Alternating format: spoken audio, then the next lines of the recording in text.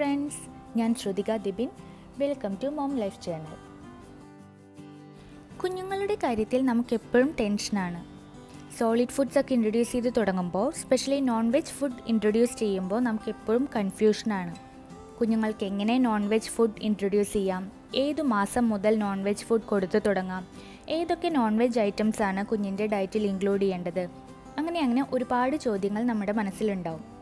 അങ്ങനെയുള്ള ചോദ്യങ്ങൾക്കുള്ള ഉത്തരമാണ് ഇന്നത്തെ video. Hope you find it helpful so keep watching ഒരു എട്ട് മാസം മുതൽ നമുക്ക് കുഞ്ഞുങ്ങൾക്ക് നോൺ വെജ് ഫുഡ് നൽകി തുടങ്ങാം. ആദ്യമായിട്ട് ഇൻട്രൊഡ്യൂസ് ചെയ്യുന്ന നോൺ വെജ് ഐറ്റം എഗ്ഗാണ് കോഴിമുട്ട. എഗ് ഒരുപാട് പ്രോട്ടീൻ കണ്ടന്റും അയേണും ഹെൽത്തി ഫാറ്റ്സും ഒക്കെ അടങ്ങിയിട്ടുള്ളത് കൊണ്ട് തന്നെ കുഞ്ഞുങ്ങളുടെ ഗ്രോത്തിനും ഡെവലപ്മെന്റിനും അത് ഒരുപാട് ഹെൽപ്പ് ചെയ്യും.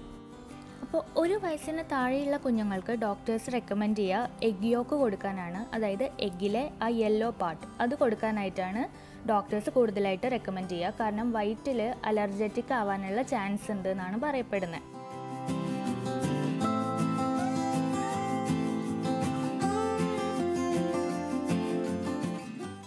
അപ്പം ഞാനിവിടെ ഒരു ബോയിൽഡ് എഗ്ഗ് എടുത്തിട്ടുണ്ട്. അപ്പോൾ രണ്ട് രീതിയിൽ നമുക്ക് എഗ്ഗ് കൊടുക്കാം കേട്ടോ ബോയിൽഡ് എഗ്ഗും കൊടുക്കാം സ്ക്രാമ്പിൾഡ് എഗ്ഗും കൊടുക്കാം. അപ്പോൾ ബോയിൽഡ് എഗ്ഗ് ഞാൻ ഇതുപോലെ രണ്ട് ഈക്വൽ ഹാഫ്സ് ആയിട്ട് കട്ട് ചെയ്തു. അതിൽ നിന്നും ആ എഗ് യോക്ക് സ്കൂപ്പ് ഔട്ട് ചെയ്തിട്ട് ഒരു ബൗളിലേക്ക് മാറ്റി വെച്ചു. ഇനി ഒരു ഫോക്ക് ഉപയോഗിച്ചിട്ട് എഗ് യോക്ക് നന്നായിട്ട് സ്മാഷ് ചെയ്യുക. അപ്പോൾ ഒരു പൗഡറി ഫോമിലേക്ക് വരും. ഇനി അതിലേക്ക് നമ്മൾ ബേബിക്ക് ഏത് പാലാണോ കൊടുക്കുന്നത്? ഫോർമുല മിൽക്ക് ആണെങ്കിൽ ഫോർമുല മിൽക്ക് അല്ലെങ്കിൽ ബ്രസ്റ്റ് മിൽക്ക് ആണെങ്കിൽ ബ്രസ്റ്റ് മിൽക്ക് അതൊരു ഹാഫ് ടീസ്പൂണോളം മതി. ആഡ് ചെയ്ത് കൊടുക്കുക. അതിനുശേഷം നല്ല സ്മൂത്തായിട്ട് മിക്സ് ചെയ്തെടുക്കുക. അപ്പോൾ കുഞ്ഞിന് വേണ്ട കൺസിസ്റ്റൻസി എത്രയാണെന്നുള്ളത് അനുസരിച്ചിട്ട് ഇതിന്റെ തിക്നെസ് കൂട്ടുകയോ കുറയ്ക്കുകയോ ചെയ്യാം കേട്ടോ അപ്പോൾ ഇങ്ങനെയാണ് ബോയിൽഡ് എഗ് യോക്ക് കുഞ്ഞുങ്ങൾക്ക് കൊടുക്കുക.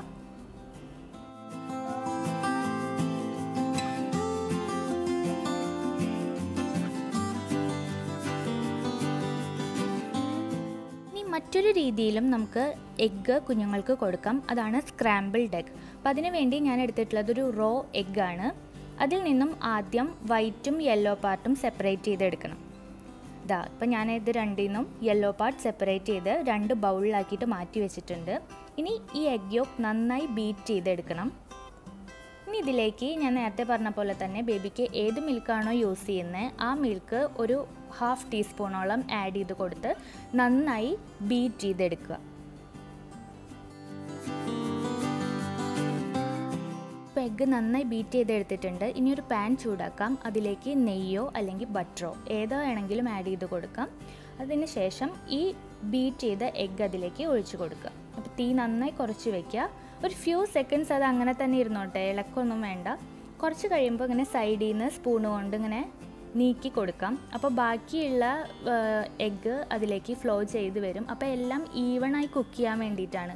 അപ്പോൾ ഈ രീതിയിൽ ചെയ്യുമ്പോൾ എഗ്ഗ് പ്രത്യേകമായി സോഫ്റ്റ് ആവും. അതായത് നമ്മൾ സാധാ വെറുതെ സ്ക്രാമ്പിൾഡ് എഗ്ഗ് ചെയ്യുന്നതിനായിട്ടും നല്ലോണം സോഫ്റ്റായി കിട്ടും. അപ്പോൾ അതിന് വേണ്ടിയിട്ടാണ് നമ്മൾ മിൽക്ക് ആഡ് ചെയ്യുന്നത്. ഇനി സ്ക്രാമ്പിൾ ചെയ്തിട്ട് കുഞ്ഞിന് കൊടുക്കാവുന്നതാണ്. അപ്പോൾ ഇതാണ് എഗ്ഗ് കൊടുക്കാനുള്ള രണ്ട് രീതികൾ.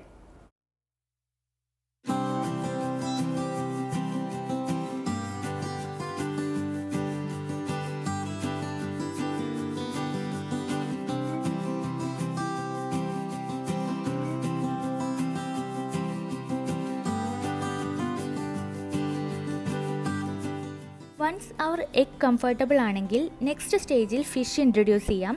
എല്ലാ തരം ഫിഷും നന്നായി വേവിച്ച് കൊടുക്കാവുന്നതാണ്. ഫിഷ് വേവിക്കുമ്പോൾ അതിൽ കുറച്ച് മഞ്ഞൾപ്പൊടി കൂടി ചേർത്ത് കൊടുത്താൽ വളരെ നന്നായിരിക്കും.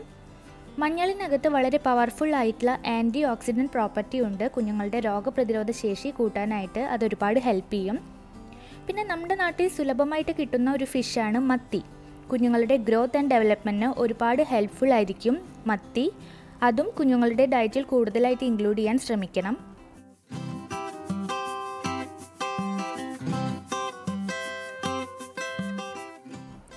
ഫിഷ് കഴിക്കുന്നുണ്ട് അവർ കംഫർട്ടബിൾ ആണെന്ന് തോന്നിയാൽ നെക്സ്റ്റ് സ്റ്റേജിൽ നമുക്ക് റെഡ് മീറ്റ് ഇൻട്രൊഡ്യൂസ് ചെയ്യാം.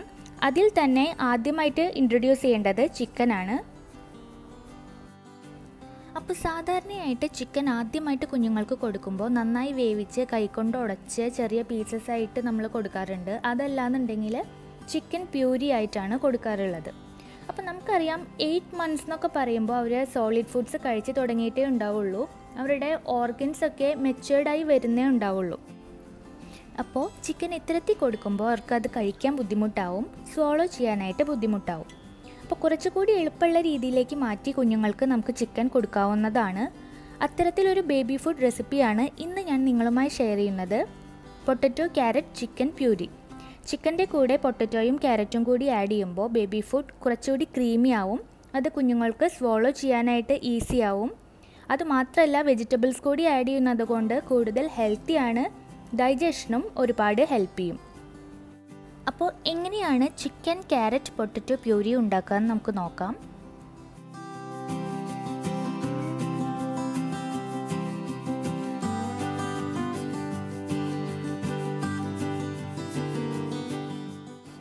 ചിക്കൻ ക്യാരറ്റ് പൊട്ടറ്റോ പ്യൂരി ഉണ്ടാക്കാനായിട്ട് ഞാനിവിടെ ഒരു ഹാഫ് ക്യാരറ്റ് നന്നായി കഴുകി സ്കിൻ പീൽ ചെയ്ത് റൗണ്ടിൽ കട്ട് ചെയ്തെടുത്തിട്ടുണ്ട്. പിന്നെ വേണ്ടത് ചിക്കൻ ആണ്. ഞാനിവിടെ എടുത്തിട്ടുള്ളത് ചിക്കൻ ബ്രസ്റ്റ് പീസാണ് അത് വളരെ ചെറിയ ക്യൂബ്സ് ആയിട്ട് കട്ട് ചെയ്തെടുത്ത് വെച്ചിട്ടുണ്ട്. കാരണം നമ്മളിത് സ്റ്റീം ചെയ്യാനാണ് പോകുന്നത്. അപ്പോൾ പെട്ടെന്ന് വെന്ത് കിട്ടാൻ വേണ്ടിയിട്ടാണ് ഇത്രയും ചെറിയ ക്യൂബ്സ് ആയിട്ട് കട്ട് ചെയ്ത് വെച്ചിട്ടുള്ളത്. പിന്നെ വേണ്ടത് ഒരു ചെറിയ പൊട്ടറ്റോ ആണ്. അതും ചെറിയ ക്യൂബ്സ് ആയിട്ട് കട്ട് ചെയ്ത് മാറ്റി വെച്ചിട്ടുണ്ട്. അപ്പോൾ ഇതിനൊന്നും പ്രത്യേകം പ്രത്യേകം അളവുകളില്ല കേട്ടോ നമുക്ക് നമ്മുടെ കുഞ്ഞിന്റെ ഇഷ്ടത്തിനനുസരിച്ചിട്ട് ഈ ഇൻഗ്രീഡിയൻസ് കൂട്ടുകയോ കുറയ്ക്കുകയോ ചെയ്യാം. അപ്പോൾ കുഞ്ഞിന് ക്യാരറ്റാണ് കൂടുതൽ ഇഷ്ടം എന്നുണ്ടെങ്കിൽ ക്യാരറ്റിന്റെ അളവ് കൂടുതലായി ചേർത്ത് കൊടുക്കാം. അതല്ല പൊട്ടറ്റോ ആണ് ഇഷ്ടം എന്നുണ്ടെങ്കിൽ പൊട്ടറ്റോ കൂടുതലായിട്ട് ചേർത്തിട്ടും ഈ ബേബി ഫുഡ് ഉണ്ടാക്കാവുന്നതാണ്. ഇത് നന്നായി വേവിച്ചെടുക്കണം. അതിനു വേണ്ടി ഒരു പാത്രത്തിൽ വെള്ളം വെക്കുക. അതിലേക്കൊരു സ്റ്റീമിംഗ് ബാസ്ക്കറ്റ് വെക്കണം. എന്നിട്ട് ചിക്കൻ ചേർത്ത് കൊടുക്കാം. പിന്നെ നേരത്തെ കട്ട് ചെയ്ത് വെച്ചിട്ടുള്ള പൊട്ടറ്റോയും ക്യാരറ്റും ഇതിലോട്ട് ചേർത്ത് കൊടുക്കാം. ഇനി ഇത് അടച്ചു വെച്ച് ഒരു മുപ്പത് മിനിറ്റ് നന്നായി വേവിച്ചെടുക്കണം. ഒരു ഇരുപത് മിനിറ്റൊക്കെ ആകുമ്പോഴേക്കും നന്നായി ഫോക്ക് ടെൻഡർ ആയിട്ടുണ്ടാവും. എന്നാലും റിസ്ക് എടുക്കേണ്ട. ബേബിക്ക് കൊടുക്കാനുള്ളതല്ലേ. നന്നായി വെന്തിട്ട് തന്നെ കിട്ടണം. അപ്പോൾ ഒരു മുപ്പത് മിനിറ്റ് നന്നായി വേവിച്ചെടുക്കണം.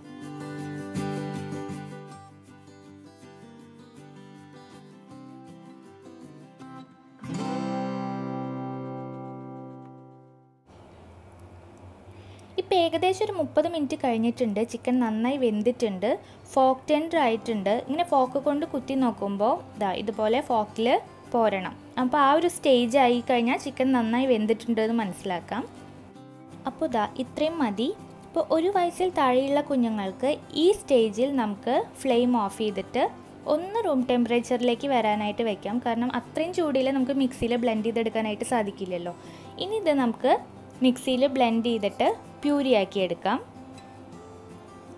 അപ്പോൾ പ്യൂരി ആക്കുമ്പോൾ വെള്ളം ആവശ്യമാണെന്നുണ്ടെങ്കിൽ അല്പം തിളപ്പിച്ചാറിയ വെള്ളം ആഡ് ചെയ്ത് കൊടുത്തിട്ട് നന്നായി ബ്ലെൻഡ് ചെയ്തെടുക്കണം. ഇനി ഞാൻ പറയാൻ പോകുന്ന രണ്ട് ഇൻഗ്രീഡിയൻസ് ഒരു വയസ്സിന് മുകളിലുള്ള കുഞ്ഞുങ്ങൾക്ക് വേണ്ടിയുള്ളതാണ്.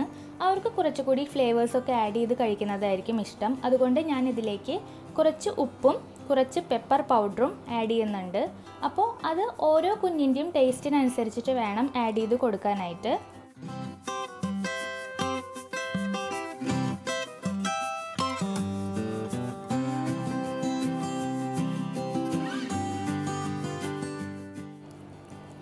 ഇനി പ്യൂരിയുടെ കൺസിസ്റ്റൻസി ചേഞ്ച് ചെയ്യാനായിട്ട് ബ്രസ്റ്റ് മിൽക്കോ അല്ലെങ്കിൽ ഫോർമുല മിൽക്കോ ആഡ് ചെയ്ത് ചിക്കൻ ക്യാരറ്റ് പൊട്ടറ്റോ പ്യൂരിയുടെ കൺസിസ്റ്റൻസി കുഞ്ഞിനെ ഇഷ്ടപ്പെടുന്ന രീതിയിലേക്ക് മാറ്റി കൊടുക്കാവുന്നതാണ്.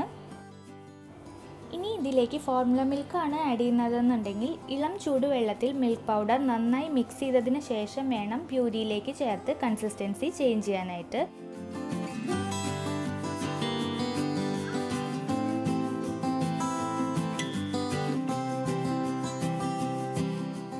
വയസ്സിന് മുകളിലുള്ള കുഞ്ഞുങ്ങൾക്ക് കൗ മിൽക്ക് ആഡ് ചെയ്ത് കറക്റ്റ് കൺസിസ്റ്റൻസി ആക്കിയിട്ട് കൊടുക്കാവുന്നതാണ്. അപ്പോൾ മിൽക്ക് ആഡ് ചെയ്യുമ്പോൾ ആ പ്യൂരിക്ക് ഒരു പ്രത്യേക ടേസ്റ്റാണ് ക്യാരറ്റിന്റെ നാച്ചുറൽ സ്വീറ്റ്നെസ്സിനെ എൻഹാൻസ് ചെയ്യാനായിട്ട് മിൽക്ക് ഹെൽപ്പ് ചെയ്യും.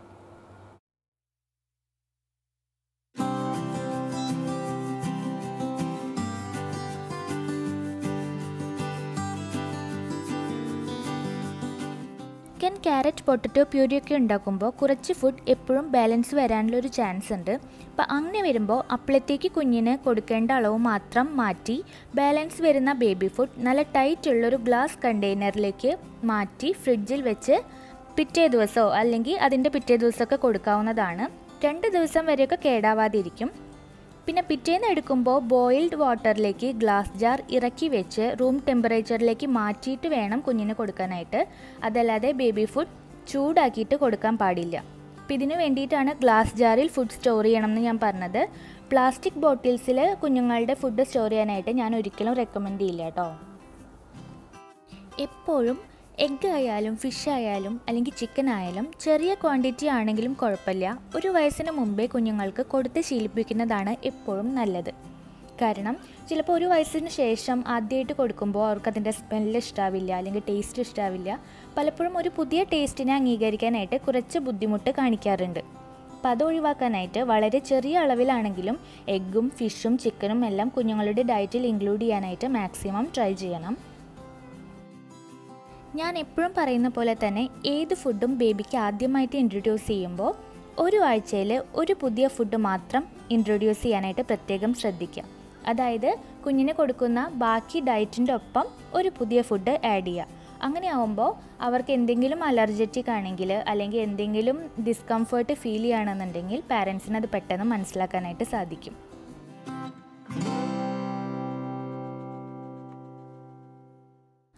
അപ്പോൾ എന്റെ പേഴ്സണൽ എക്സ്പീരിയൻസിൽ എനിക്ക് വളരെ ഹെൽപ്ഫുള്ളായി തോന്നിയിട്ടുള്ള കുറച്ച് ടിപ്സും ട്രിക്സൊക്കെയാണ് ഇന്നത്തെ വീഡിയോയിലൂടെ ഞാൻ നിങ്ങളുമായി ഷെയർ ചെയ്തത്.